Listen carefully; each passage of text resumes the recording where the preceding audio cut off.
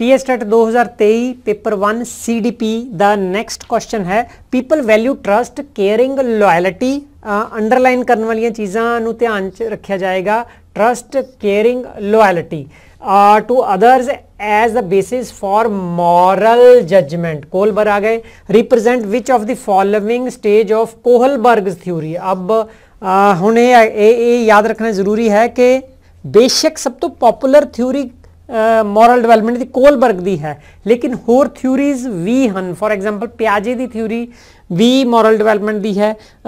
Kohlberg ਦੀ student ਦੀ theory ਵੀ ਹੈ। ਜਿਨ੍ਹਾਂ ਨੇ ਕਿਉਂਕਿ ਇਹਨਾਂ ਨੇ ਸਿਰਫ ਬॉयਜ਼ ਤੇ ਕੀਤੀ ਸੀ। ਉਹਨਾਂ ਨੇ ਗਰਲਸ ਤੇ ਮੋਰਲ ਡਿਵੈਲਪਮੈਂਟ ਦੀ ਥਿਊਰੀ ਦਿੱਤੀ ਹੋਈ ਹੈ। ਸੋ ਅਸੀਂ ਜੇ ਸਾਨੂੰ ਥਿਊਰੀ ਨਹੀਂ ਪਤਾ ਸੀ, ਨਹੀਂ ਪੜੀ ਤੇ ਸਹੀ ਉੱਥੇ ਕਿਸ ਤਰ੍ਹਾਂ ਪਹੁੰਚਣਾ ਹੈ, ਪੰਜਾਬੀ ਚ ਜ਼ਰੂਰ ਪੜ ਲੈਣਾ ਚਾਹੀਦਾ ਹੈ। ਲੋਕ ਨੈਤਿਕ ਨਿਰਣੇ ਇਹ ਮੋਰਲ ਜਜਮੈਂਟ ਨੂੰ ਇੱਥੇ ਨੈਤਿਕ ਨਿਰਣੇ ਕਿਹਾ ਗਿਆ ਹੈ, ਜੇ ਨਹੀਂ ਸਮਝ ਲੱਗਦੀ ਤਾਂ ਇਹ ਪੰਜਾਬੀ ਚ ਪੜ ਸਕਦੇ ਹਾਂ। ਦੇ ਆਧਾਰ ਉੱਤੇ ਦੂਜਿਆਂ ਪ੍ਰਤੀ ਵਿਸ਼ਵਾਸ, ਦੂਜਿਆਂ ਪ੍ਰਤੀ ਵਿਸ਼ਵਾਸ, ਦੇਖਭਾਲ, ਵਫਾਦਾਰੀ ਦੀ ਕਦਰ ਕਰਦੇ ਹਨ। ਕੋਲਬਰਗ ਦੇ ਨੈਤਿਕ ਵਿਕਾਸ ਦੇ ਸਿਧਾਂਤ ਦੇ ਹੇਠਲੇ ਕਿਹੜੇ ਕਿਸ ਪੜਾਅ ਨੂੰ ਦਰਸਾਉਂਦੇ ਹਨ? ਹੁਣ ਚਾਰ ਸਟੇजेस ਨੇ, ਇਸ ਨੂੰ ਥੋੜਾ ਰੱਬ ਕਰਕੇ ਉੱਪਰ ਜਾਣਾ ਪਏਗਾ। ਆਪਾਂ ਇੱਥੇ ਚੱਲਦੇ ਹਾਂ, ਕਿਉਂਕਿ ਸਟੇजेस ਪੜ ਸਕੀਏ ਏਰੀਆ ਓਕੇ ਹੁਣ ਪਹਿਲੀ ਸਟੇਜ ਹੈ ਇੰਡੀਵਿਜੂਅਲਿਜ਼ਮ ਇੰਡੀਵਿਜੂਅਲਿਜ਼ਮ ਤੋਂ ਸਪਸ਼ਟ ਇਹ ਹੁੰਦਾ ਹੈ ਕਿ ਇੰਡੀਵਿਜੂਅਲ ਫੋਕਸ ਕਰ ਰਿਹਾ ਹੈ ਸੁਸਾਇਟੀ ਫੋਕਸ ਨਹੀਂ ਕਰੀ। ਇੱਥੇ ਹੈ people value trust caring loyalty of others on the basis it represent the following Kohlberg moral development ਹੈ ਨਾ ਅਦਰਸ ਜਦੋਂ ਆ ਜਾਂਦਾ ਹੈ ਤਾਂ ਸੁਸਾਇਟੀ ਬਣ ਜਾਂਦੀ ਹੈ। ਸੁਸਾਇਟੀ ਇੱਥੇ ਦੂਜਿਆਂ ਦੀ ਪੰਜਾਬੀ ਵਿੱਚ ਹੋਏਗਾ, ਦੂਜਿਆਂ ਦੀ, ਹਨਾ? ਇੰਡੀਵਿਜੂਅਲਿਜ਼ਮ 'ਚ ਆਪਣੇ ਆਪ ਤੇ ਜ਼ਿਆਦਾ ਫੋਕਸ ਹੋਏਗਾ। ਸੋ ਇਸ ਆਧਾਰ ਤੇ ਇਸ ਨੂੰ ਕੱਟਿਆ ਜਾ ਸਕਦਾ ਹੈ। ਲੇਕਿਨ ਆਪਾਂ ਥਿਊਰੀ ਵੀ ਦੇਖਦੇ ਹਾਂ ਬਰੀਫ ਵਿੱਚ ਉਸ ਨੂੰ ਵੀ ਸਮਝਣ ਦੀ ਕੋਸ਼ਿਸ਼ ਕਰਦੇ ਹਾਂ। ਸਟੇਜ 3 ਹੈ ਮਿਊਚੁਅਲ ਇੰਟਰਪ੍ਰੀਟੇਸ਼ਨ ਐਂਡ ਐਕਸਪੈਕਟੇਸ਼ਨ ਹੁਣ, ਜਦੋਂ ਐਕਸਪੈਕਟੇਸ਼ਨ ਵਰਡ ਆਂਦਾ ਹੈ ਇਟ ਮੀਨਸ ਦੂਜਿਆਂ ਦੇ ਨਾਲ ਦੂਜਿਆਂ ਨੂੰ ਬਰਾਬਰ ਲਗਭਗ ਰੱਖਿਆ ਜਾ ਰਿਹਾ ਹੈ। Expectation relationship and interpersonal conformity ਜਿਹੜਾ ਕਨਫਰਮਿਟੀ ਸ਼ਬਦ ਹੈ ਕਿ ਸੋਸਾਇਟੀ ਦੁਆਰਾ ਬਣਾਏ ਗਏ ਰੂਲਸ ਉਹ ਬੇਸ਼ੱਕ ਨੈਤਿਕ ਰੂਲਸ ਹੋਣ, ਜਿਵੇਂ ਇਹ ਹਨ ਉਹਨਾਂ ਨੂੰ ਮੰਨ ਲੈਣਾ, ਸਵੀਕਾਰ ਕਰ ਲੈਣਾ, ਉਹਨਾਂ ਦੀ ਪਾਲਣਾ ਕਰਨਾ, ਇਹ ਕਨਫਰਮੇਟਿਵ ਬਣ ਜਾਂਦਾ ਹੈ। ਸੋ ਇਸ ਨੂੰ ਡਾਊਟ 'ਚ ਰੱਖਦੇ ਹਾਂ ਕਿ ਇਸ ਰਾਈਟ ਆਨਸਰ ਹੋ ਸਕਦਾ ਹੈ। Stage 4 social system morality so ਇਹ ਵੀ ਅਦਰਸ ਦੀ ਗੱਲ ਹੈ ਸੋਸ਼ਲ ਸਿਸਟਮ ਦੀ ਗੱਲ ਹੈ ਐਗਜ਼ੈਕਟ ਇਹ ਵੀ ਡਾਊਟ ਵਿੱਚ ਹੈ, ਇਹ ਹੋ ਸਕਦਾ ਹੈ।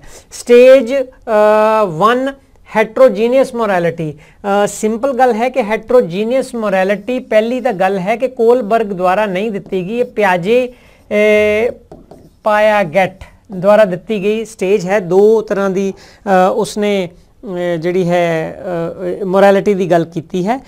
ਪਹਿਲੀ ਜਿਹੜੀ ਹੈਟਰੋਨੋਮਸ ਹੈ ਹੈਟਰੋਨੋਮਸ ਵਿੱਚ ਕਿ ਬੱਚੇ ਜਿਹੜੇ ਨੇ ਰੂਲਸ ਨੂੰ ਐਬਸੋਲੂਟ ਮੰਨਦੇ ਆ ਅਨਚੇਂਜੇਬਲ ਮੰਨਦੇ ਆ ਹੈ, ਔਰ ਉਹ ਦੂਜਿਆਂ ਦੁਆਰਾ, ਉਹ ਦੂਜਾ ਕੌਣ ਹੋ ਸਕਦਾ? ਉਹ ਦੂਜਾ ਪ੍ਰਮਾਤਮਾ ਵੀ ਉਸ ਨੂੰ ਮੰਨ ਸਕਦਾ ਟੀਚਰ ਵੀ ਹੋ ਸਕਦਾ ਪੇਰੈਂਟਸ ਵੀ ਹੋ ਸਕਦਾ, ਕੋਈ ਵੀ ਹੋ ਸਕਦਾ ਉਸ ਨੂੰ ਦੂਜੇ ਦੁਆਰਾ ਉਹਨਾਂ ਤੇ ਇੰਪੋਜ਼ ਕੀਤੇ ਜਾਂਦੇ ਹੈ। ਤੇ ਜੇ ਉਹ ਉਹਨਾਂ ਦੀ ਪਾਲਣਾ ਨਹੀਂ ਕਰਨਗੇ, ਤਾਂ ਉਹਨਾਂ ਨੂੰ ਪਨਿਸ਼ਮੈਂਟ ਮਿਲੇਗੀ। ਪਨਿਸ਼ਮੈਂਟ ਤੋਂ ਕੀ ਨਿਕਲ ਨਿਕਲਦਾ ਹੈ, ਡਰ ਨਿਕਲਦਾ ਹੈ। ਸੋ ਡਰ ਦੇ ਕਾਰਨ ਮੋਰਲ ਨਿਯਮਾਂ ਦੀ ਪਾਲਣਾ ਕੀਤੀ ਜਾ ਰਹੀ ਹੈ ਹੈਟਰੋਜੀਨਿਟੀ ਵਿੱਚ। ਇੱਥੇ ਅਜਿਹਾ ਕੋਈ ਵੀ ਵਰਡ ਨਹੀਂ ਹੈ ਜਿਹੜਾ ਡਰ ਦੇ ਨਾਲ ਸੰਬੰਧਿਤ ਹੋਵੇ। ਸੋ ਡਰ ਵੀ ਇੰਡੀਵਿਜੂਅਲ ਤੇ ਫੋਕਸ ਕਰ ਰਿਹਾ ਹੈ। ਇਸ ਨੂੰ ਵੀ ਰਿਜੈਕਟ ਕਰ ਰਹੇ ਹਾਂ, ਇਸ ਨੂੰ ਵੀ ਇਸ ਨੂੰ ਇਸ ਨੂੰ ਡਾਊਟ 'ਚ ਰੱਖਦੇ ਹਾਂ। ਇਹਨਾਂ 'ਚੋਂ ਇੱਕ ਚੁਣਿਆ ਜਾ ਸਕਦਾ ਹੈ। ਹੁਣ ਇਹਨਾਂ 'ਚੋਂ ਰਾਈਟ ਆਨਸਰ ਕਿਵੇਂ ਚੁਣਨਾ ਹੈ, ਇਹ ਦੇਖਿਆ ਜਾਏਗਾ। ਇਸ ਲਈ ਆਪਾਂ ਥਿਊਰੀ ਨੂੰ ਥੋੜਾ ਜਿਹਾ ਸਮਝ ਸਕਦੇ ਹਾਂ। ਜੇ ਥਿਊਰੀ ਨੂੰ ਈਜ਼ੀਲੀ ਤੁਸੀਂ ਸਮਝਣਾ ਹੋਵੇ ਤਾਂ ਮੈਂ ਉਸ ਨੂੰ ਸਮਝਾਉਣ ਲਈ ਇੱਕ ਵਰਡ ਹੀ ਵਰਤਦਾ ਹੁੰਨਾ ਹਾਂ ਕਿ ਇੱਥੇ ਲਿਖ ਲਓ ਕਨਵੈਨਸ਼ਨਲ ਕਨਵੈਨਸ਼ਨਲ ਕਨਵੈਨਸ਼ਨਲ ਦਾ ਮਤਲਬ ਹੈ ਤੁਸੀਂ ਸਮਾਜਿਕ ਸਮਾਜਿਕ ਨਿਯਮ, ਹਨਾ? ਉਹ ਲਾ ਵੀ ਕਾਨੂੰਨ ਵੀ ਹੋ ਸਕਦਾ ਰੂਲ ਵੀ ਹੋ ਸਕਦੇ ਐਥਿਕਸ ਵੀ ਹੋ ਸਕਦੇ, ਸਮਾਜਿਕ ਨਿਯਮ, ਮੈਂ ਇੱਥੇ ਸਮਾਜਿਕ ਨਿਯਮ ਲਿਖ ਦਿੱਤਾ। ਸੋ ਇੱਕ ਪੜਾ ਹੈ, ਇਹ ਸ਼ਬਦ ਲਿਖ ਲਿਆ। ਦੂਸਰਾ ਲਿਖ ਦਿੱਤਾ ਕਿ ਪ੍ਰੀ, ਬਸ, ਪ੍ਰੀ। ਤੀਸਰਾ ਲਿਖ ਦਿੱਤਾ ਕਿ ਪੋਸਟ ਪੋਸਟ। ਥਿਊਰੀ ਦੀ ਤਿੰਨ ਸਟੇजेस ਸੌਰੀ ਜਿਹੜੇ ਨੇ ਫੇਜ਼ਸ ਨੇ ਫਸਟ ਹੈ ਪ੍ਰੀ ਕਨਵੈਨਸ਼ਨਲ ਤੇ ਬੱਚਾ ਜਿਉਂਦਾ ਹੈ। ਦੂਸਰਾ ਹੈ ਕਨਵੈਨਸ਼ਨਲ ਸੋਸ਼ਲ ਰੂਲ ਦੀ ਪਾਲਣਾ ਕਰਦਾ ਹੋਇਆ ਬੱਚਾ ਜਿਉਂਦਾ ਹੈ। ਫਿਰ ਹੈ ਕਿ ਸੋਸ਼ਲ ਨਿਯਮਾਂ ਤੋਂ ਉੱਪਰ ਬੱਚਾ ਜਿਉਂਦਾ ਹੈ। ਸਿਰਫ ਐਨੀ ਜਿਹੜੀ ਹੈ ਕੋਲਬਰਗ ਦੀ ਥਿਊਰੀ ਬਣਦੀ ਹੈ। ਹਰ ਇਸ ਫੇਜ਼ ਨੂੰ ਡਿਵਾਈਡ ਕੀਤਾ ਗਿਆ ਹੈ, ਇਸ ਕਲਰ ਨੂੰ ਬਦਲੀ ਇੱਥੇ। ਡਿਵਾਈਡ ਦੋ ਦੋ ਭਾਗਾਂ ਚ ਵੰਡਿਆ ਗਿਆ ਹੈ, ਜਿਸ ਨਾਲ 6 ਸਟੇजेस ਬਣ ਜਾਂਦੀਆਂ ਹਨ। ਸੋ ਇਹ ਜੋ ਸਟੇजेस ਹਨ, ਇਹ ਇੰਡੀਵਿਜੂਅਲ ਤੇ ਜ਼ਿਆਦਾ ਸਮਾਜ ਤੇ ਨਹੀਂ, ਸਮਾਜ ਦੇ ਨਿਯਮਾਂ ਦੀ ਪਾਲਣਾ ਤੇ ਜ਼ੋਰ ਨਹੀਂ ਹੈ ਇਸ ਵਿੱਚ। ਸਮਾਜ ਦੇ ਨਿਯਮਾਂ ਦੀ ਪਾਲਣਾ ਦਾ ਕਰਨ, ਕਾਰਨ ਇੰਡੀਵਿਜੂਅਲ ਹੈ ਕਿ ਮੈਨੂੰ ਡਰ ਲੱਗਦਾ ਹੈ। ਜੇ ਮੇਰਾ ਫਾਇਦਾ ਹੋਏਗਾ, ਮੇਰਾ ਬੈਨੀਫਿਟ ਹੋਏਗਾ, ਤਾਂ ਮੈਂ ਉਹ ਚੀਜ਼ ਕਰਾਂਗਾ। ठीक ਸੋ ਇਸ ਇੰਡੀਵਿਜੂਅਲ ਫੋਕਸਡ ਹੈ ਐਕਸਟਰਨਲ ਹੈ ਜਿਹੜੀ ਇਹ ਸਟੇਜ ਹੈ, ਇਹਦੇ ਵਿੱਚ ਇੱਕ ਤਾਂ ਲਾ ਐਂਡ ਆਰਡਰ ਹੈ ਲਾ ਐਂਡ ਆਰਡਰ ਓਕੇ ਇੱਥੇ ਤੀਜੇ ਨੰਬਰ ਤੇ good boy good boy bad ਹੈ ਨਾ ਬॉय ਇਸ ਨੂੰ ਜੇ ਸਮਝਣਾ ਹੈ ਤੇ ਸੋਸ਼ਲ ਅਪਰੂਵਲ ਅਪਰੂਵਲ ਮੈਂ ਇਸ ਲਈ ਸੋ ਨਿਯਮਾਂ ਦੀ ਪਾਲਣਾ ਕਰਨੀ ਹੈ, ਕਿਉਂਕਿ ਦੂਸਰੇ ਲੋਕ ਮੈਨੂੰ ਚੰਗਾ ਕਹਿਣ, ਦੂਸਰੇ ਲੋਕ ਚੰਗਾ ਕਹਿਣ। ਮੈਂ ਸਮਾਜ ਵਿੱਚ ਚੰਗਾ ਬਣਨਾ ਚਾਹੁੰਦਾ ਹਾਂ, ਇਸ ਲਈ ਪਾਲਣਾ ਕਰਨਾ ਚਾਹੁੰਦਾ ਕਰਦਾ ਹਾਂ। ਲੇਕਿਨ ਇਸ ਜਗ੍ਹਾ ਤੇ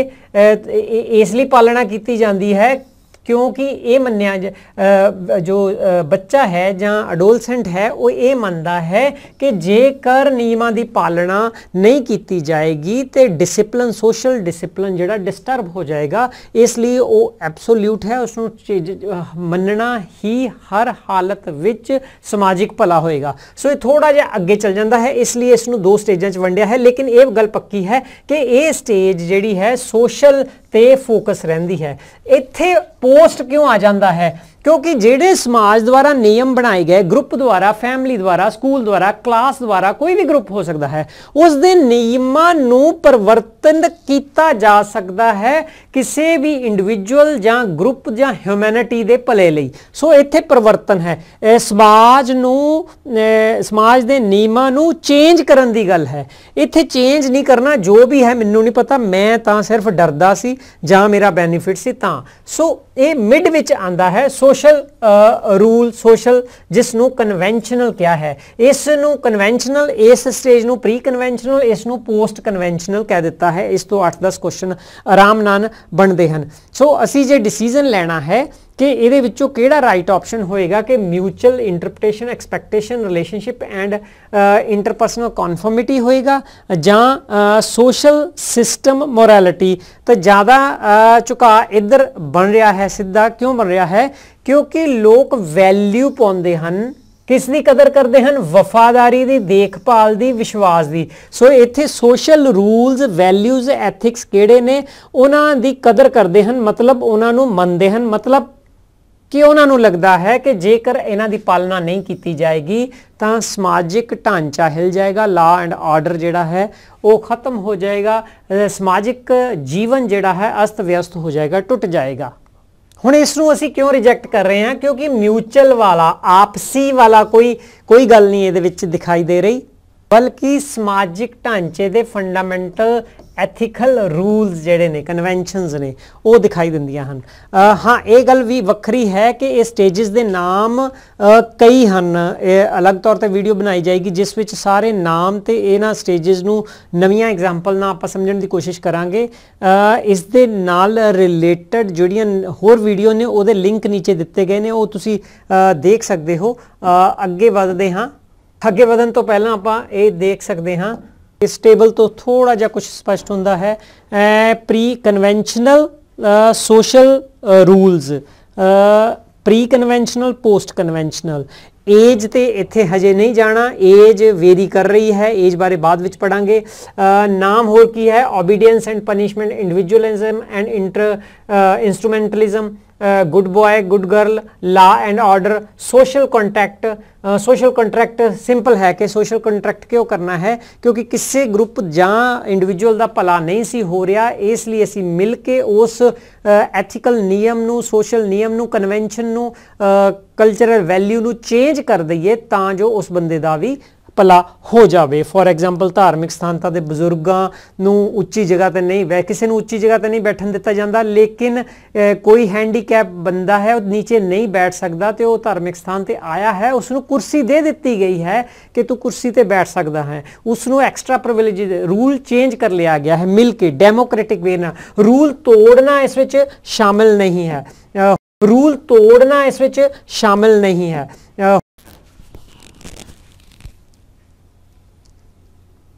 ਇਹ ਲਾਸਟ ਦੋ ਜੋ ਸਟੇजेस ਨੇ, ਪੰਜਵੀਂ ਤੇ ਛੇਵੀਂ, ਇਹ ਇੰਟਰਨਲ ਫੋਰਸ ਦੁਆਰਾ ਕੰਟਰੋਲ ਹੁੰਦੀਆਂ ਨੇ। ਮਤਲਬ ਕਿ ਬੰਦਾ ਆਪਣੇ ਅੰਦਰੋਂ ਜ਼ਮੀਰ ਦੇ ਵਿੱਚੋਂ ਬੋਲਦਾ ਹੈ ਕਿ ਕਿਸੇ ਨਾਲ ਇਨਜਸਟਿਸ ਹੋ ਰਿਹਾ ਹੈ। ਉਸ ਨੂੰ ਜਸਟਿਸ ਦਿਵਾਉਣ ਲਈ ਜੋ ਬਣਿਆ ਹੋਇਆ ਨਿਯਮ ਹੈ ਉਸ ਨੂੰ ਚੇਂਜ ਕਰ ਦਿੱਤਾ ਜਾਵੇ ਉਸ ਨੂੰ ਪਰਿਵਰਤਿਤ ਕਰ ਦਿੱਤਾ ਜਾਵੇ। ਇਸ ਲਈ ਇੱਥੇ ਅਸੀਂ ਆਪਣੇ ਐਥਿਕਸ ਡਿਵੈਲਪ ਕਰਦੇ ਹਾਂ। ਸਮਾਜ ਦੇ ਐਥਿਕਸ ਬੇਸ਼ੱਕ ਫੋਲੋ ਕਰਦੇ ਹਾਂ, ਪਰ ਸਮਾਜ ਦੇ ਐਥਿਕਸ ਨੂੰ ਰੂਲਸ ਨੂੰ ਮੋਰੈਲਿਟੀ ਨੂੰ ਇਵੈਲੂਏਟ ਕਰਦੇ ਹਾਂ ਕਿ ਕੀ ਇਹ ਠੀਕ ਹੈ। ਜੇ ਠੀਕ ਹੈ ਤਾਂ ਫੋਲੋ ਕਰਦੇ ਹੋ। ਤੁਹਾਡੇ ਰੂਲ ਬਣਾਏ ਹੋਏ ਨਾ, ਉਹਦਾ ਮੈਚ ਕਰਦਾ ਹੈ ਤੇ ਮੈਚ ਕੀ ਕਰਨਾ ਹੈ ਕਿ ਭਲਾ ਹੋ ਰਿਹਾ ਹੈ ਸਭ ਦਾ ਭਲਾ ਹੋ ਰਿਹਾ ਹੈ। ਜੇ ਨਹੀਂ ਹੋ ਰਿਹਾ ਹੈ, ਕਿਸੇ ਦਾ ਭਲਾ ਨਹੀਂ ਹੋ ਰਿਹਾ, ਤਾਂ ਤੁਸੀਂ ਚੇਂਜ ਕਰਦੇ ਹੋ ਮਿਲ ਕੇ ਡੈਮੋਕ੍ਰੈਟਿਕ ਵੇ ਦੇ ਨਾਲ। ਸੋ ਇਹ ਇੰਟਰਨਲ ਫੋਰਸਸ ਦੁਆਰਾ ਕੰਟਰੋਲਡ ਹੁੰਦੀ ਹੈ। ਨੈਕਸਟ ਚਲਦੇ ਹਾਂ ਕੁਐਸਚਨ ਵੱਲ। ਨੈਕਸਟ ਕੁਐਸਚਨ ਹੈ ਸਾਡਾ uh, in triarchic theory of intelligence as given by Sternberg. Normally ਇੱਕ ਕੁਛ theory triarchic theory ਦਾ normal question ਇਹ ਪੁੱਛਿਆ ਹੀ ਜਾਂਦਾ ਹੈ ਕਿਸ ਦੁਆਰਾ ਦਿੱਤੀ ਗਈ ਹੈ ਇਸ ਵਿੱਚ ਉਸਦਾ ਆਨਸਰ ਪਿਆ ਹੋਇਆ ਹੈ ਸਟਰਨਬਰਗ ਸੋ ਇਸ ਨੂੰ ਜੋੜ ਕੇ ਜਾਂ ਇਸ ਦੇ ਸ਼ਬਦਾਂ ਤੋਂ ਵੀ ਕੁਝ ਐਨਾਲਿਸਿਸ ਕੀਤੇ ਜਾ ਸਕਦੇ ਹਨ। 3 ਟਾਈਪਸ 3 ਫਾਰਮਸ ਆਫ ਇੰਟੈਲੀਜੈਂਸ ਕਰਕੇ ਵੀ ਟਰਾਈ ਤੋਂ ਇਸ ਤਰ੍ਹਾਂ ਜੋੜਿਆ ਜਾ ਸਕਦਾ ਹੈ। ਸਟਰਨ ਦੀ ਟੀ ਨੂੰ ਟ੍ਰਾਈਆਰਕਿਕ ਨਾਲ ਜੋੜਿਆ ਜਾ ਸਕਦਾ ਹੈ। ਸੋ ਇੱਥੇ ਸਿੰਪਲ ਕੁਐਸਚਨ ਪੁੱਛਿਆ ਗਿਆ ਹੈ ਕਿ ਤਿੰਨ ਟਾਈਪਸ ਜਾਂ ਤਿੰਨ ਪਾਰਟਸ ਆਫ ਇੰਟੈਲੀਜੈਂਸ ਜਿਹੜੇ ਦੱਸੇ ਨੇ, ਹਾਂ, ਅੱਗਿਓਂ ਉਸਨੇ ਤਿੰਨ ਸਬ ਥਿਊਰੀਜ਼ ਫਿਰ ਫਿਰ ਤਿੰਨ ਕੰਪੋਨੈਂਟਸ ਬਣਦੇ ਨੇ। ਸੋ ਕਿਹੜਾ ਨਹੀਂ ਹੈ? ਸਿੰਪਲ ਆਨਸਰ ਤਾਂ ਇਹਦਾ ਸਪੇਸ਼ਲ ਦਿਖਾਈ ਦਿੰਦਾ ਹੈ, ਕਿਉਂਕਿ ਸਪੇਸ਼ਲ ਜਿਹੜਾ ਹੈ ਮਲਟੀਪਲ ਇੰਟੈਲੀਜੈਂਸ ਗਾਰਡਨਰ ਦੀ ਥਿਊਰੀ ਦਾ ਪਾਰਟ ਹੈ। ਲੇਕਿਨ ਹੋਰ ਕੁਐਸਚਨ ਜੇ ਪੁੱਛੇ ਜਾਂਦੇ ਨੇ, ਤੇ ਅਸੀਂ ਉਸ ਨੂੰ ਕਿਸ ਤਰ੍ਹਾਂ ਹੱਲ ਕਰ ਸਕਦੇ ਹਾਂ? ਟ੍ਰਾਇਆਰਕਿਕ ਥਿਊਰੀ ਦੇ ਤਿੰਨ ਇਹ, ਹਾਂ, ਕਦੋਂ ਦਿੱਤੀ ਗਈ? ਹੈ 1988 ਵਿੱਚ ਕੁਐਸਚਨ ਪੁੱਛਿਆ ਜਾ ਸਕਦਾ ਹੈ। ਹਰ ਪਾਰਟ ਦਾ ਜਿਹੜੇ ਤਿੰਨ ਪਾਰਟ ਨੇ ਉਸ ਦੇ ਦੋ ਦੋ ਨਾਮ ਨੇ। ਕੰਪੋਟੀਸ਼ਨਲ ਔਰ ਐਨਾਲਿਟੀਕਲ, ਇੱਕ ਹੀ ਨਾਮ ਹੈ। ਅੱਗੇ ਤੋਂ ਆਪਸ਼ਨ ਇਹ ਇਹ ਵੀ ਆ ਸਕਦੀ ਹੈ, ਇਹ ਵੀ ਆ ਸਕਦੀ ਹੈ। ਹੁਣ ਵਾਲੇ ਪ੍ਰਸ਼ਨ ਵਿੱਚ ਐਨਾਲਿਟੀਕਲ ਇੰਟੈਲੀਜੈਂਸ ਹੈ। ਇਸ ਦਾ, ਜੇ ਇਸ ਦੀ, ਹਾਂ, ਡੈਫੀਨੇਸ਼ਨ ਵੀ ਪੁੱਛੀ ਜਾ ਸਕਦੀ ਹੈ। ਜੇਕਰ ਡੈਫੀਨੇਸ਼ਨ ਦੇਣੀ ਹੈ ਡੈਫੀਨੇਸ਼ਨ ਕੀ ਹੈ? ਉਸ ਨੂੰ ਵੀ ਯਾਦ ਰੱਖਣ ਦੀ ਕੋਈ ਜ਼ਰੂਰਤ ਨਹੀਂ ਹੈ। ਸਿਰਫ ਐਨਾਲਿਟੀਕਲ ਸ਼ਬਦ ਨੂੰ ਦੇਖਣਾ ਹੈ ਐਨਾਲਿਟੀਕਲ ਦਾ ਮਤਲਬ ਹੈ ਐਨਾਲਿਸਿਸ ਕਰਨਾ। ਐਨਾਲਿਸਿਸ ਕਿੱਦਾਂ ਕਰਦੇ ਹਾਂ? ਕਿਸੇ ਵੀ ਚੀਜ਼ ਨੂੰ ਉਸ ਨੂੰ ਹਿੱਸਿਆਂ ਵਿੱਚ ਵੰਡ ਲੈਂਦੇ ਆ ਆ ਸਮੱਸਿਆ ਸਮੱਸਿਆ ਨੂੰ ਹਿੱਸਿਆਂ ਵਿੱਚ ਵੰਡ ਕੇ। ਸਮਝਣ ਲਈ ਕੋਸ਼ਿਸ਼ ਕਰਨਾ ਹੈ, ਵਿਸ਼ਲੇਸ਼ਣ ਕਰਨਾ ਇਸ ਨੂੰ ਪੰਜਾਬੀ ਵਿੱਚ ਕਹਿ ਰਹੇ ਹਾਂ। ਕੰਪੋਨੈਂਸ਼ੀਅਲ ਮਤਲਬ ਕਿ component parts component mean parts ਇਸ ਨੂੰ ਯਾਦ ਇਸ ਤਰ੍ਹਾਂ ਰੱਖਿਆ ਜਾ ਸਕਦਾ ਹੈ। ਸੋ ਐਨਾਲਿਸਿਸ ਦਾ ਐਨਾਲਿਟੀਕਲ ਦਾ ਮਤਲਬ ਇਹ ਹੈ ਹੋਲ ਨੂੰ ਪਾਰਟ ਵਿੱਚ ਡਿਵਾਈਡ ਕਰਕੇ ਸਮਝਣਾ, ਸਮੱਸਿਆ ਨੂੰ ਪਾਰਟਸ ਵਿੱਚ ਕੰਪੋਨੈਂਟਸ ਵਿੱਚ ਸਮਝ ਕੇ ਡਿਵਾਈਡ ਕਰਕੇ ਸਮਝਣਾ। ਦੂਸਰਾ ਹੈ ਐਕਸਪੀਰੀਐਂਸ਼ੀਅਲ ਕ੍ਰੀਏਟਿਵ ਇਹ ਵੀ ਦੋ ਨਾਮ ਸੇਮ ਇੰਟੈਲੀਜੈਂਸ ਦੇ ਨੇ।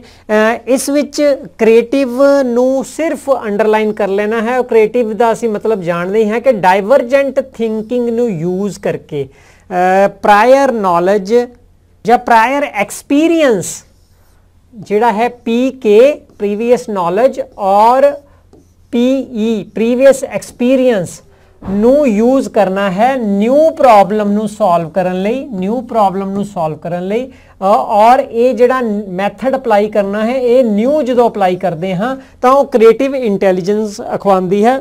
ਸੋ ਇਹ very close to creativity next ਹੈ ਕੰਟੈਕਸਚੁਅਲ ਔਰ ਪ੍ਰੈਕਟੀਕਲ ਕੰਟੈਕਸਚੁਅਲ ਮੀਨ ਸਿਚੁਏਸ਼ਨ ਵਿੱਚ practical situation daily life situation ਵਿੱਚ ਸੋ ਇਸ ਦਾ ਅਰਥ ਹਮ ਪ੍ਰੈਕਟੀਕਲ ਲਾਈਫ ਪ੍ਰੋਬਲਮ ਨੂੰ ਸੋਲਵ ਕਰਨਾ ਐਨवायरमेंट ਨੂੰ ਸਿਚੁਏਸ਼ਨ ਨੂੰ ਚੇਂਜ ਕਰ ਲੈਣਾ ਹੈਂਡਲ ਕਰ ਲੈਣਾ ਉਸ ਨਾਲ ਡੀਲ ਕਰ ਲੈਣਾ ਇਸ ਦਾ ਨਵਾਂ ਮਤਲਬ ਕੀ ਹੈ ਸਟਰੀਟ ਸਮਾਰਟ ਵੀ ਇਸ ਨੂੰ ਕਹਿੰਦੇ ਨੇ ਸਟਰੀਟ ਗਲੀ ਮਤਲਬ ਡੇਲੀ ਜੋ ਸਮੱਸਿਆਵਾਂ ਨੂੰ ਹੱਲ ਕਰਨ ਦੀ ਯੋਗਤਾ ਹੈ। ਸੋ ਇਹ ਤਿੰਨ ਨੇ ਮੇਨ ਇੰਟੈਲੀਜੈਂਸਸ ਅੱਗੇ ਚੱਲਦੇ ਹਾਂ। ਸਾਡੇ ਕੋਲ which of the following represent the acquisition of traditional masculine and feminine role ਇਹ ਕੁਐਸਚਨ ਕਾਫੀ ਕਨਫਿਊਜ਼ਿੰਗ ਰਿਹਾ ਹੈ ਕਿਉਂਕਿ ਰੋਲ ਸ਼ਬਦ ਨਾਲ ਜਨਰਲੀ ਆਨਸਰ ਰੋਲ ਨੂੰ ਟਿਕ ਕਰ ਦਿੱਤਾ ਗਿਆ ਕਿ ਜੈਂਡਰ ਰੋਲ ਹੀ ਇਹ ਹੈ। ਪਰ ਇਹਨਾਂ ਚਾਰਾਂ ਦੀਆਂ ਪਰਿਭਾਸ਼ਾਵਾਂ, ਜੋ ਚਾਰ ਉੱਤਰ ਨੇ ਜੈਂਡਰ ਭੂਮਿਕਾਵਾਂ gender typing gender integration and gender stereotyping so ਇਹਨਾਂ ਨੂੰ ਸਮਝ ਲੈਣਾ ਜ਼ਰੂਰੀ ਹੈ ਕਿਉਂਕਿ ਅੱਗੇ ਵੀ ਇਹ ਕਨਸੈਪਟ ਰਿਪੀਟ ਹੋ ਸਕਦੇ ਹਨ। ਕਿਸੇ ਹੋਰ ਫਾਰਮ ਵਿੱਚ ਤੇ ਸਾਨੂੰ ਸਹੀ ਉੱਤਰ ਲੱਭਣ ਵਿੱਚ ਸਹਾਇਤਾ ਕਰ ਸਕਦੇ ਹਨ। ਸੋ ਜੈਂਡਰ ਰੋਲ ਦਾ ਮੈਂ ਰੋਲ ਦੀ ਈ ਚੱਕਦਾ ਹਾਂ ਕਿ social expectation expectations social expectation ਜੋ ਸਮਾਜ ਗਰੁੱਪ ਫੈਮਿਲੀ ਸਕੂਲ ਸਾਡੇ ਤੋਂ ਐਕਸਪੈਕਟ ਕਰਦਾ ਹੈ ਕਿ ਅਸੀਂ ਐਦਾਂ ਕਰੀਏ, ਕੁੜੀਆਂ ਇਸ ਤਰ੍ਹਾਂ ਰਹਿਣ, ਮੁੰਡੇ ਇਸ ਤਰ੍ਹਾਂ ਰਹਿਣ ਐਕਸਪੈਕਟੇਸ਼ਨ ਹੈ। ਸੋ ਇਹ ਈ ਤੋਂ ਹੀ ਹੈ ਕਿ ਇਹ ਐਕਸਟਰਨਲ ਫੋਰਸ ਹੈ ਐਕਸਟਰਨਲ ਫੋਰਸ ਹੈ ਹੈ। ਹਨਾ? ਦੂਸਰਾ ਜਿਹੜਾ ਹੈ ਜੈਂਡਰ ਟਾਈਪਿੰਗ ਟਾਈਪਿੰਗ ਨੂੰ ਯਾਦ ਕਰਨਾ ਹੈ ਤਾਂ ਟਾਈਪਿੰਗ ਦੀ ਆਈ ਨੂੰ ਮੈਂ ਕੱਢ ਕੇ ਰੱਖਦਾ ਹਾਂ। ਆਈ ਤੋਂ ਇੰਟਰਨਲ ਫੋਰਸ ਹੈ, ਇਹ ਐਕਸਟਰਨਲ ਇਹ ਇੰਟਰਨਲ ਓਕੇ ਕਿਉਂਕਿ ਸਮਾਜ ਐਕਸਪੈਕਟ ਜਦੋਂ ਵੀ ਐਕਸਪੈਕਟੇਸ਼ਨ ਹੋਏਗੀ, ਦੂਸਰਾ ਕੋਈ ਕਰੇਗਾ। ਮੰਮੀ, ਪਾਪਾ, ਦੋਸਤ, ਮਿੱਤਰ, ਪ੍ਰੇਮੀ, ਪ੍ਰੇਮਿਕਾ, ਕੋਈ ਵੀ ਬਾਹਰ ਹੈ, ਹੋ ਉਧਰ ਹੈ। ਇਹ, ਇੱਥੇ ਜੈਂਡਰ ਟਾਈਪਿੰਗ ਕੀ ਹੈ ਕਿ ਜੈਂਡਰ ਮੇਲ ਫੀਮੇਲ ਦੇ ਰੋਲ ਨੂੰ ਲਰਨ ਕਰ ਲੈਣਾ ਹੈ। ਫੋਰ ਐਗਜ਼ਾਮਪਲ ਇੱਕ ਬੱਚਾ ਹੈ, ਘਰ ਵਿੱਚ ਪਾਪਾ ਨੂੰ ਦੇਖਦਾ ਹੈ ਬ੍ਰਦਰ ਨੂੰ ਦੇਖਦਾ ਹੈ ਕਿ ਉਹਨੂੰ ਲੱਗਦਾ ਹੈ ਕਿ ਮੇਲ ਜਿਸ ਤਰ੍ਹਾਂ ਕਰਦੇ ਹਨ ਉਸ ਤਰ੍ਹਾਂ ਹੀ ਮੈਂ ਕਰਾਂਗਾ। ਮੰਮੀ ਕਿਚਨ ਵਿੱਚ ਕੰਮ ਕਰ ਰਹੀ ਹੈ, ਮੈਂ ਵੀ ਲੜਕੀ ਨੂੰ ਇਹੀ ਹੁੰਦਾ ਹੈ ਕਿ ਮੈਂ ਕਿਚਨ ਵਿੱਚ ਕੰਮ ਕਰਨਾ ਹੈ। ਸੋ ਉਹ ਜਿਹੜਾ ਇੰਟਰਨਲ ਇਹ ਕਿਵੇਂ ਹੋਇਆ ਕਿ ਜੋ ਉਸ ਦਾ ਜੈਂਡਰ ਬੱਚੇ ਦਾ ਜੈਂਡਰ ਮੇਲ ਹੈ ਤੇ ਉਹ ਮੇਲ ਵੱਡੇ ਮਾਡਲ ਨੂੰ ਦੇਖ ਕੇ ਜੋ ਲਰਨ ਕਰਦਾ ਹੈ, L E A R N learn so ਇਹ ਦੋ ਸ਼ਬਦ ਨੇ, ਇਹ ਐਕਸਪੈਕਟੇਸ਼ਨ ਹੈ, ਇਹ ਲਰਨਿੰਗ ਹੈ। ਦੂਸਰੇ ਸ਼ਬਦਾਂ ਵਿੱਚ ਇਹ ਸੋਸ਼ਲਾਈਜੇਸ਼ਨ ਬਣ ਜਾਂਦੀ ਹੈ। ਸੋਸ਼ਲਾਈਜੇਸ਼ਨ ਦੀ ਪ੍ਰੋਸੈਸ ਹੈ ਕਿ ਜੈਂਡਰ ਰੋਲ ਨੂੰ ਆਪਣੇ ਅੰਦਰ ਢਾਰ ਲੈਣਾ ਹੈ। ਇੰਟਰਨਲਾਈਜੇਸ਼ਨ ਬਾਹਰਲੀ ਜਿਹੜੇ ਮਾਡਲ ਕਰ ਰਹੇ ਆ, ਉਹ ਮੈਂ ਆਪਣੇ ਅੰਦਰ ਪਾ ਲੈਣਾ ਹੈ। ਇੱਥੇ ਕੀ ਹੈ ਕਿ ਜੋ ਬਾਹਰ ਕਰ ਰਹੇ ਹੈ, ਉਹ ਐਕਸਪੈਕਟ ਕਰ ਰਹੇ, ਤੂੰ ਇਦਾਂ ਕਰ। ਇੱਥੇ ਤੁਸੀਂ ਕਰਨ ਲੱਗ ਪੈਂਦੇ ਹੋ। ਸੋ ਇਹ ਫ਼ਰਕ ਹੈ ਜੈਂਡਰ ਰੋਲ ਵਿੱਚ ਤੇ ਜੈਂਡਰ ਟਾਈਪਿੰਗ ਵਿੱਚ। ਜੇ ਸਾਨੂੰ ਪੁੱਛਿਆ ਗਿਆ ਹੈ ਕੁਐਸਚਨ ਤੇ ਇੱਥੇ ਤੱਕ ਸ਼ਾਇਦ ਆਨਸਰ ਮਿਲ ਜਾਵੇ ਕਿ ਵਿਚ acquisition of traditional masculine and feminine role ਜਿਹੜਾ ਸ਼ਬਦ ਐਕੁਇਜੀਸ਼ਨ ਹੈ, ਉਹ ਸਿੱਧਾ ਦੱਸ ਰਿਹਾ ਹੈ ਕਿ ਲਰਨਿੰਗ ਐਕਵਾਇਰ ਕਰ ਲੈਣਾ। ਐਕਵਾਇਰ ਕਰ ਲੈਣਾ, ਇਹ ਤੁਹਾਡੇ ਤੇ ਤੁਹਾਡੇ ਇੰਟਰਨਲਾਈਜੇਸ਼ਨ ਦੀ ਪ੍ਰੋਸੈਸ ਹੈ। ਇੰਟਰਨਲਾਈਜੇਸ਼ਨ ਐਕਚੁਅਲੀ ਸੋਸ਼ਲਾਈਜੇਸ਼ਨ ਦੀ ਇੱਕ ਲਾਸਟ ਸਟੇਜ ਹੈ ਕਿ ਤੁਸੀਂ ਸੋਸ਼ਲ ਨਾਰਮਸ ਜਾਂ ਰੋਲ ਜੇ ਇੱਥੇ ਜੈਂਡਰ ਰੋਲ ਨੂੰ ਆਪਣੀ ਪਰਸਨੈਲਿਟੀ ਦਾ ਟੋਟਲ ਪਾਰਟ ਬਣਾ ਲੈਂਦੇ ਹੋ। ਹੁਣ ਤੁਹਾਨੂੰ ਪਤਾ ਨਹੀਂ ਲੱਗਦਾ, ਉਹ ਜਿਹੜਾ ਰੋਲ ਤੇ ਮੈਂ ਵੱਖਰੇ ਹਾਂ, ਇੱਕੋ ਹੀ ਲੱਗਦੇ ਹਨ।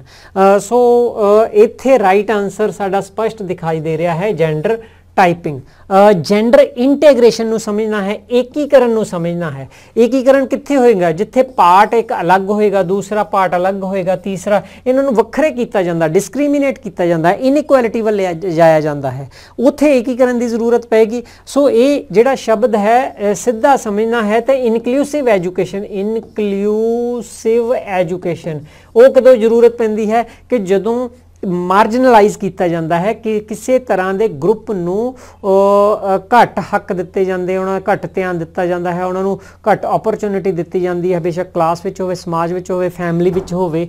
ਸੋ ਇੰਟੀਗ੍ਰੇਸ਼ਨ ਕੀ ਹੋਏਗਾ? ਇੱਥੇ ਜੈਂਡਰ ਹੈ। ਇਟ ਮੀਨਸ ਇਹ ਜੇ ਗਰੁੱਪ ਜੈਂਡਰ ਦੇ ਬੇਸ ਤੇ ਬਣ ਗਏ ਫੋਰ ਐਗਜ਼ਾਮਪਲ ਇਹ ਮੇਲ ਬਣ ਗਿਆ, ਇਹ ਫੀਮੇਲ ਬਣ ਗਿਆ, ਇਹ ਥਰਡ ਜੈਂਡਰ ਬਣ ਗਿਆ, ਹਨਾ? ਹੁਣ ਇਹਦਾ ਮਤਲਬ ਹੈ ਡਿਸਕ੍ਰਿਮੀਨੇਸ਼ਨ ਹੋ ਰਿਹਾ। ਡਿਸਕ੍ਰਿਮੀਨੇਸ਼ਨ ਸਾਨੂੰ ਪਤਾ ਹੈ ਕਿ ਜ਼ਿਆਦਾ ਫੀਮੇਲ ਨਾਲ ਹੀ ਲਾਰਜਲੀ ਹੋ ਰਿਹਾ ਹੈ। ਪੈਟਰ ਪੈਟਰੀਆਰਕਿਕ ਸੋਸਾਇਟੀ uh, ਵਿੱਚ ਪੈਟਰੀਆਰਕਿਕ ਮੀਨ ਮੇਲ ਡੋਮੀਨੇਟਿੰਗ ਸੋਸਾਇਟੀ ਸੈਕਸਿਜ਼ਮ ਕਾਰਨ, ਹਨਾ, ਹੋਰ ਵੀ ਕਈ ਕਾਰਨ ਬੰਦੇ ਨੇ। ਥਰਡ ਜੈਂਡਰ ਨਾਲ ਡਿਸਕ੍ਰਿਮੀਨੇਸ਼ਨ ਹੁੰਦਾ ਹੈ। ਇਹ ਦੋ ਜੈਂਡਰ ਮੰਨ ਲਓ ਪਿੱਛੇ ਰਹਿ ਰਹੇ ਹਨ ਔਰ ਇਹ ਜੈਂਡਰ ਡੋਮੀਨੇਟ ਕਰ ਰਿਹਾ ਡਿਸੀਜਨ ਲੈ ਰਿਹਾ ਪਾਵਰ ਵਿੱਚ ਹੈ ਜ਼ਿਆਦਾ ਪ੍ਰਿਵਿਲੇजेस ਰਾਈਟਸ ਹਨਾ? ਇਹ ਮੰਨ ਰਿਹਾ ਹੈ। ਸੋ ਇੰਟੀਗ੍ਰੇਸ਼ਨ ਕੀ ਹੋਏਗੀ? ਕਿ ਕਲਾਸਰੂਮ ਹੈ ਫੈਮਿਲੀ ਹੈ ਜਾਂ ਸਮਾਜ ਹੈ, ਇਹਨਾਂ ਨੂੰ ਵੀ ਇਹਦੇ ਜਿੰਨੇ ਹੱਕ ਮਿਲੇ, ਮਿਲਣ। ਸੋ ਇਸ ਤਰ੍ਹਾਂ ਦੀਆਂ ਐਕਸਰਸਾਈਜ਼ਸ ਕਲਾਸਰੂਮ ਵਿੱਚ ਜਾਂ ਸਮਾਜ ਵਿੱਚ ਕਰਨੀਆਂ ਕਿ ਇਹ ਇਕੁਐਲਿਟੀ ਵੱਲ ਇਹਨਾਂ ਨੂੰ ਇਕੱਠੇ ਕਰ ਦੇਣਾ, ਕਿ ਇਹਨਾਂ ਨੂੰ ਇਕੁਅਲ ਓਪਰਚ्युनिटी ਦੇਣੀਆਂ, ਇਸ ਤਰ੍ਹਾਂ ਦੀਆਂ, ਹਨਾ ਗੱਲਾਂ ਕਰਨੀਆਂ। ਇਟ ਮੀਨਸ ਟ੍ਰੈਡੀਸ਼ਨਲ ਸਿਸਟਮ ਜੋ ਹੈ ਜੈਂਡਰ ਸਟੀਰੀਓਟਾਈਪਿੰਗ ਜਾਂ ਬਾਇਸਨੈਸ ਉਸ ਨੂੰ ਤੋੜ ਦੇਣਾ ਹੈ। ਜਿਸ ਤਰ੍ਹਾਂ ਕਿ ਅਸੀਂ ਕਹਿੰਦੇ ਹਾਂ ਕਿ ਨਰਸ ਜਿਹੜੀ ਹੈ, ਉਹ ਲੜਕੀਆਂ ਹੀ ਜ਼ਿਆਦਾ ਬਣ ਸਕਦੀਆਂ ਹਨ। ਚਾਈਲਡ ਕੇਅਰ ਜ਼ਿਆਦਾ ਲੜਕੀਆਂ ਕਰ ਕਰ ਸਕਦੀਆਂ ਹਨ। ਲੇਕਿਨ ਜੇ ਮੇਲ ਨੂੰ ਵੀ ਇਹੀ ਓਪਰਚ्युनिटी ਇਹੀ ਦਿੱਤੀ ਜਾਵੇ, ਤੇ ਇਟ ਮੀਨਸ ਤੁਸੀਂ ਇੰਟੀਗ੍ਰੇਟ ਕਰ ਰਹੇ ਹੋ। ਸੋ ਇੱਥੇ ਬੇਸਿਕ ਓਪਰਚੁਨਿਟੀ ਦੀ ਗੱਲ ਹੋ ਰਹੀ ਹੈ। ਸੋ ਜੈਂਡਰ ਰੋਲ ਐਕਸਪੈਕਟੇਸ਼ਨ ਸੀ ਔਰ ਜੈਂਡਰ ਟਾਈਪਿੰਗ ਇੰਟਰਨਲ ਸੀ ਲਰਨਿੰਗ ਸੀ ਸੋਸ਼ਲਾਈਜੇਸ਼ਨ ਸੀ। ਜੈਂਡਰ ਇੰਟੀਗ੍ਰੇਸ਼ਨ ਇੱਕ ਸੋਸ਼ਲ ਪ੍ਰੋਸੈਸ ਹੈ, ਜਿਸ ਵਿੱਚ ਮੇਨ ਸਟ੍ਰੀਮਿੰਗ ਵੀ ਇਸ ਨੂੰ ਕਿਹਾ ਜਾਂਦਾ ਹੈ। ਉਹ ਆ ਗਿਆ। ਔਰ ਜੈਂਡਰ ਸਟੀਰੀਓ ਟਾਈਪਿੰਗ ਵਿੱਚ ਤੁਸੀਂ ਟਾਈਪਿੰਗ ਜੀ ਯਾਦ ਰੱਖੀ ਹੈ generalization normally wrong generalisation biased generalisations ਹੁੰਦੀਆਂ about a group of society ਹਨਾ? ਅਸੀਂ ਫੀਮੇਲ ਬਾਰੇ ਕੁਝ ਜਨਰਲਾਈਜੇਸ਼ਨ ਕਨਕਲੂਜਨ ਬਣਾਏ ਹੋਏ ਹਨ ਕਿ ਫੀਮੇਲ ਸਬਮਿਸਿਵ ਹੁੰਦੀ ਹੈ ਫੀਮੇਲ ਜਲਦੀ ਰੋ ਪੈਂਦੀ ਹੈ ਮੇਲ ਬਾਰੇ ਵੀ ਰੱਖਿਆ ਹਾਂ ਇਹ ਇਹ ਤਾਂ ਕਈ 네ਗੇਟਿਵ ਹੁੰਦੀਆਂ ਹੈ ਕਿ ਵੀਕ ਹੈ ਹਨਾ? ਕਈ ਜਗ੍ਹਾ ਅਸੀਂ ਕਹਿੰਦੇ ਨੇ ਨਰਚਰਿੰਗ ਹੈ। ਹਾਂ, ਇੱਥੇ ਪੋਜ਼ਿਟਿਵ ਤੇ ਨੈਗੇਟਿਵ ਦਾ मीनिंग ਪ੍ਰੋਗਰੈਸਿਵ ਨਹੀਂ ਹੈ। ਉਸ ਦੇ ਅੱਛੇ ਤੇ ਮਾੜੇ ਦੋਨਾਂ ਐਸਪੈਕਟ ਦੀ ਗੱਲ ਕਰਨਾ ਹੈ।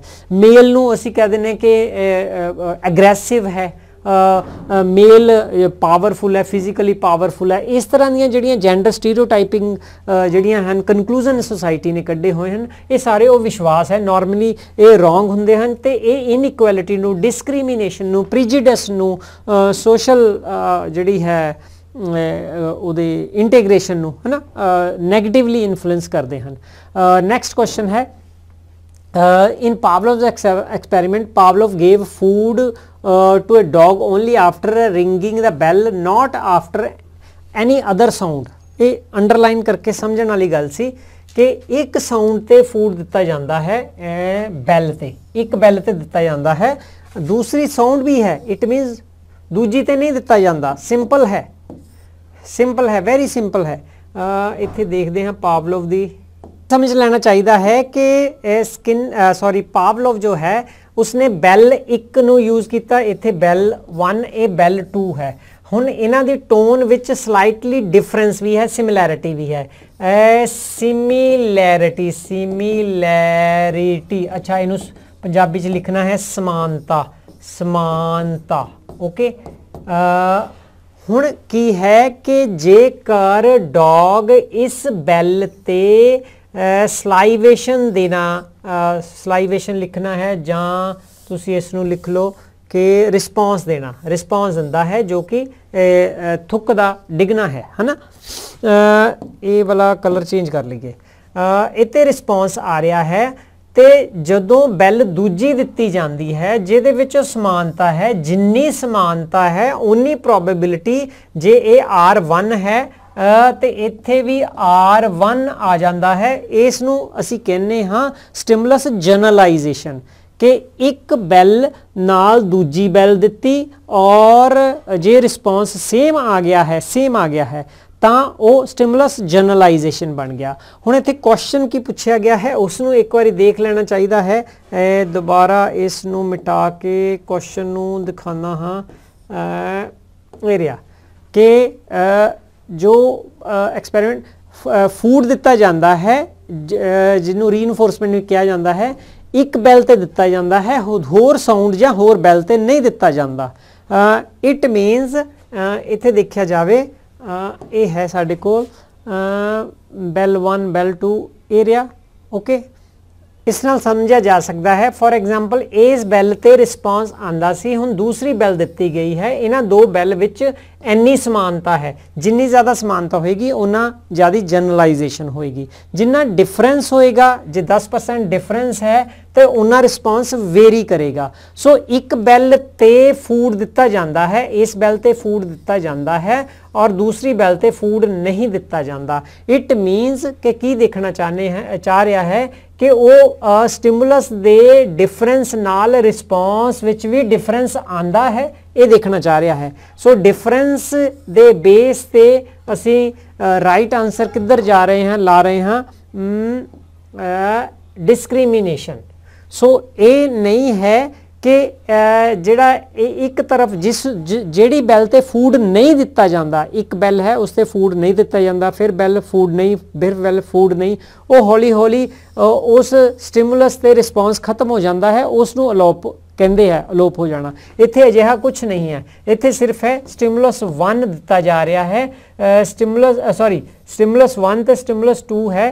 ਇੱਕ ਤੇ ਫੂਡ ਦਿੱਤਾ ਜਾ ਰਿਹਾ ਹੈ, ਦੂਸਰੇ ਤੇ ਨਹੀਂ ਦਿੱਤਾ ਜਾ ਰਿਹਾ। ਸੋ ਇਹਨਾਂ ਵਿੱਚ ਡਿਫਰੈਂਸ ਡਿਸਕ੍ਰਿਮੀਨੇਸ਼ਨ ਦੇਖਣ ਲਈ ਇਹ ਕੀਤਾ ਗਿਆ ਹੈ। ਸੋ ਰਾਈਟ ਆਨਸਰ ਅਸੀਂ ਲਾ ਰਹੇ ਹਾਂ ਡਿਸਕ੍ਰਿਮੀਨੇਸ਼ਨ ਨੈਕਸਟ ਹੈ ਸਾਡੇ ਕੋਲ the concept of child centred education advocated by ਦੇਖੋ ਇਹਦੇ ਵਿੱਚ ਦੋ ਪ੍ਰਮੁੱਖ ਜਿਹੜੇ ਨਾਮ ਨੇ ਜੌਨ ਡੇਵੀ ਹੈ ਫਰੋਬਲ ਹੈ, ਲੇਕਿਨ ਫਰੋਬਲ ਜੋ ਹੈ ਫਿਲਸੋਫੀਕਲ ਬੇਸ ਤੇ ਚਾਈਲਡ ਸੈਂਟਰ ਨੈਸ ਵਿੱਚ ਹੈ, ਇਹ ਇਹ ਜੇ ਕ੍ਰੋਨੋਲੋਜੀਕਲ ਦੇਖਿਆ ਜਾਣਾ ਹੈ ਫਰੋਬਲ ਇਹਨਾਂ ਤੋਂ ਪਹਿਲਾਂ ਆਉਂਦੇ ਨੇ, ਪਰ ਪ੍ਰੈਕਟੀਕਲੀ ਜੋ ਚਾਈਲਡ ਸੈਂਟਰਡ ਐਜੂਕੇਸ਼ਨ ਹੈ, ਇਥੇ ਐਜੂਕੇਸ਼ਨ ਹੈ ਨਾ ਤੇ ਉਹ ਜੌਨ ਡੀਵੀ ਦੇ ਫੇਵਰ ਵਿੱਚ ਜਾ ਰਿਹਾ ਹੈ। ਸੋ ਮੋਸਟਲੀ ਇਸ ਨੂੰ ਰਾਈਟ ਆਨਸਰ ਜਿਹੜਾ ਹੈ ਜੌਨ ਡੀਵੀ ਨਾਲ ਜੋੜਿਆ ਜਾਂਦਾ ਹੈ ਕਿਉਂਕਿ ਪ੍ਰੋਗਰੈਸਿਵਿਜ਼ਮ ਜਾਂ ਪ੍ਰੈਗਮੈਟਿਜ਼ਮ ਜੋ ਹੈ ਉਸ ਦਾ ਫਾਦਰ ਜੌਨ ਡੇਵੀ ਨੇ ਤੇ ਉਹੀ ਸਿਲੇਬਸ ਹੈ child centred that is why ਇਸ ਨੂੰ ਰਾਈਟ ਆਨਸਰ ਜ਼ਿਆਦਾ ਪ੍ਰੈਫਰ ਕੀਤਾ ਜਾਏਗਾ। which of the following is not characteristics of emotional intelligence given by Peter Solvay? Solve ਦੇ ਮਾਡਲ ਨੂੰ ਮੈਂ ਸਿੰਪਲੀ ਇਸ ਤਰ੍ਹਾਂ ਯਾਦ ਕੀਤਾ ਹੋਇਆ ਹੈ। ਪੀਟਰ ਸੋਲਵੇ ਸ਼ੁਰੂ ਚ ਸ਼ਾਇਦ ਇੱਥੇ ਲਿਖਿਆ ਵੀ ਸੀ। ਹਾਂ ਹਾਂ ਪੀਟਰ ਸੋਲਵੇ ਮੇਅਰ ਵੀ ਇਹਦੇ ਵਿੱਚ ਸ਼ਾਮਿਲ ਨੇ। ਦੂਸਰੇ ਪੈਨ ਨਾਲ ਲਿਖ ਲੈਨੇ ਆ ਹਾਂ ਇਸ ਨੂੰ ਯਾਦ ਰੱਖਿਆ ਹੈ ਪਫ ਦੇ ਨਾਲ। ਪਫ ਐਮ ਮੈਂ ਪਫ ਠੀਕ ਹੈ? ਵੈਸੇ ਤਾਂ ਪੀ ਤੋਂ ਪਫ ਇਸ ਤਰ੍ਹਾਂ ਯਾਦ ਰਹਿ ਜਾਂਦਾ ਹੈ। Perceiving emotion understanding emotion facilitating emotion managing emotion so ਇਹ ਚਾਰ ਉਹਦੀਆਂ ਡਾਈਮੈਂਸ਼ਨ ਯਾਦ ਰੱਖੀਆਂ ਹਨ। ਇੱਥੇ ਦੇਖਦੇ ਹਾਂ ਕਿਹੜੀ ਹੈ। ਪਰਸੀਵਿੰਗ ਇਮੋਸ਼ਨ ਹੈ ਮੈਨੇਜਿੰਗ ਇਮੋਸ਼ਨ ਹੈ ਯੂਜ਼ਿੰਗ ਇਮੋਸ਼ਨ ਹੈ ਸੀ ਨਹੀਂ ਹੈ ਕੰਟਰੋਲਿੰਗ ਇਮੋਸ਼ਨ ਨਹੀਂ ਹੈ। ਸੋ ਰਾਈਟ ਆਨਸਰ ਅਸੀਂ ਇਸ ਨੂੰ ਲਾਤਾ ਕਿ ਨਹੀਂ ਜਿਹੜਾ ਕਿਹਾ ਗਿਆ ਹੈ।